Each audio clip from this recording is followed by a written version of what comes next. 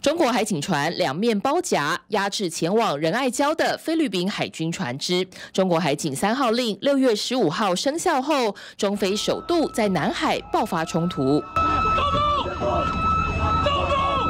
中国海警拿斧头呵斥菲律宾军方人员不要轻举妄动，在好几艘中国海警船团团包围下，有一名海警拿走菲律宾船只上的黑色袋子，甚至拿刀刺破橡皮艇。菲律宾武装部队释出画面，宣称中国海警没收了八支 M 四步枪及导航设备，还打伤七名士兵，害得其中一人右手拇指残废。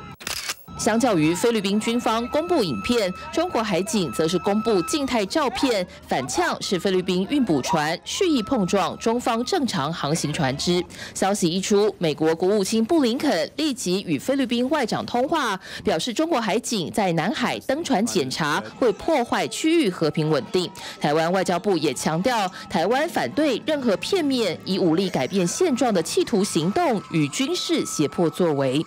菲律宾不顾中方的劝阻，执意侵闯中国南沙群岛仁爱礁，是造成这次事态的直接原因。中国海警的现场采取的执法措施是专业克制的，旨在拦阻菲方的船只非法运补，没有对菲方的人员。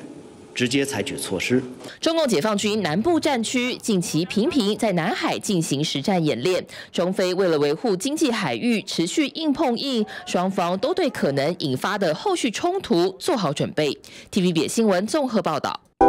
想看最完整的新闻内容，记得下载 TVBS 新闻网 APP。